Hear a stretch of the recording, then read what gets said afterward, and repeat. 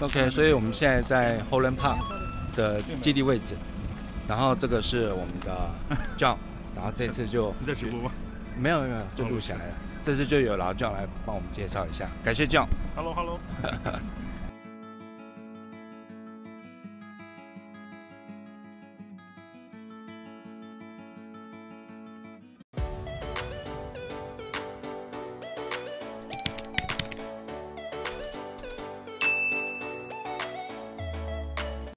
这样子的一个 logo 的话呢，就是我们公司在澳大利亚的一个建房公司。公司的话呢，从一九七六年开始成立，反正截止到今天的话呢，我们已经连续七年是澳大利亚最大的建筑公司。哦，就是我们所有的房子全部是终身质保。嗯，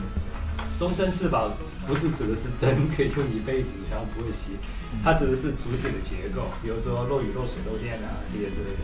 终身质保。像什么地毯的话，五年肯定会是要换掉的。嗯，还有那什么五金啊、水龙头啊这些之类的。这个是我们在全澳的建房数量，五千两百一十三个房子，是我们去年的交房。但毕竟澳大利亚人口只有两千多万，这个地方没有那么多人，所以说这已经是很了不起的一个数字了。因为我们可以在全澳建房子，比如悉尼啊、墨尔本啊，包括阿德莱德，我们都有建房子。那么很多那边的朋友会到布里斯班来，特别是现在你们如果说看媒体上面会发现，布里斯班的房子的价格一直在涨，就是今天还一直在往上涨，特别是租金从来没有停过。原因可能就是很多人知道在布里斯班会有奥运会，在二零三二年这之前，政府已经拨款了七百七十个亿澳币，这是很多钱哦。然后第一阶段三十六个亿澳币就花到了这个地方。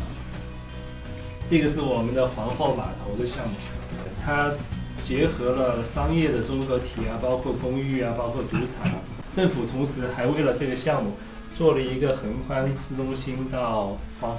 就从南岸公园到皇后码头的一个桥，一个一个一个桥梁在这边。现在的话呢，政府把我们要举办奥运会的三个重点的场所全部都圈出来了。实际上，布里斯班的奥运会并不是只是在布里斯班，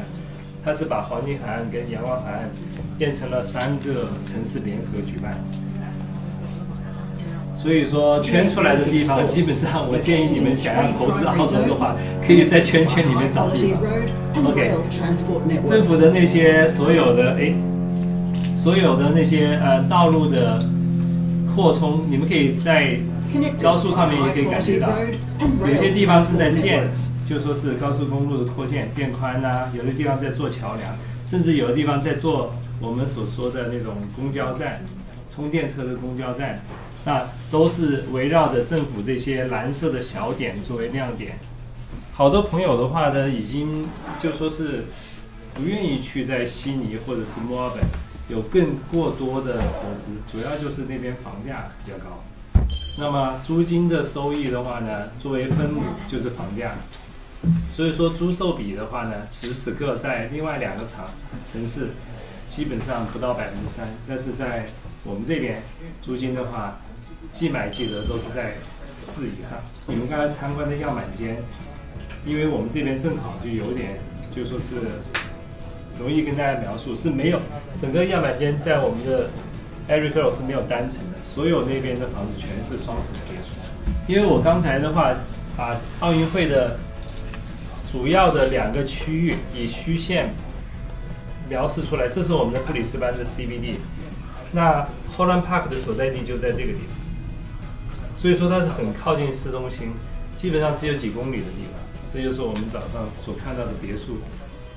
项目的话呢，你们去看的时候可能感觉不到未来，所以说我把街景做出来了。在这个项目的尽头会有一棵这样的树，大家可以就说是在此时此刻可以看到这个树。也就是说，我们沿着这个树两边做成了咱们的这个开发项目。在我这里面的话呢，我们总共有十九个两层的双层别墅。那么在这些别墅的里面的话呢，我们可以去初步给了大家去看一看，它就组成了这个照片里面这这种景观，在整一条街上面房子的，每一个外观都是有所不一样的，我都可以把它拿出来给你们去看。然后每关每个外观都有自己不同的户型图在这里。有一些房子很宽，也有一些房子是像这样子比较窄一点。因为土地的情况有所不同。如果说要是来到土地的户型图，可以看到部分的房子是比较窄的，然后像这些都是比较宽的，最宽的会在这这个地方，一二三四。还是我所说的那句话，就是说有一些是，比如说土地稍微大一点，一百八十多万、一百七十多万，还有一些很大的土地，比如说两百多万的，就是五五百多平的土地。价格表的话，到时候你们也去找自己的导游去要。这是我们在 Eric Road 项目的情况。其他的话呢，你们去看的全部都是购买土地。那么如果说你看中了，啊，比方说 Arise 的土地，那么拿着土地的合同，最后可以过来找我们公司来建房子。我们可以给你去私人定制，比如说建一层也好，建两层也好，建三百五十平方米也好，还是建四百平方米也好，没问题，因为我们是一个建筑公司。当你们买好了土地以后，可以过来找我们去进行承建。而这些土地的话，是我们跟开发商一起已经做好了，在市中心的一些土地资源。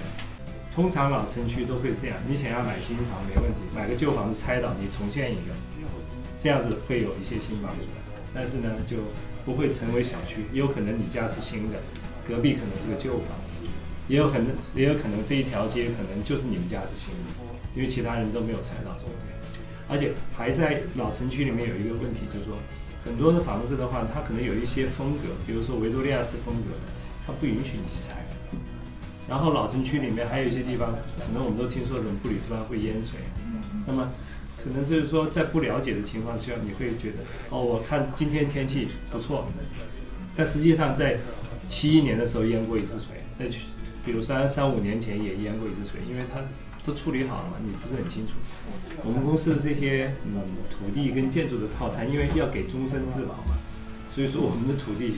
都不可以在淹水的地方去建，因为淹水了以后，首先保险公司就不给你赔嘛，然后我们公司就不给你质保。所以说，对于 Eric Road 这样的地段，在老城区里面，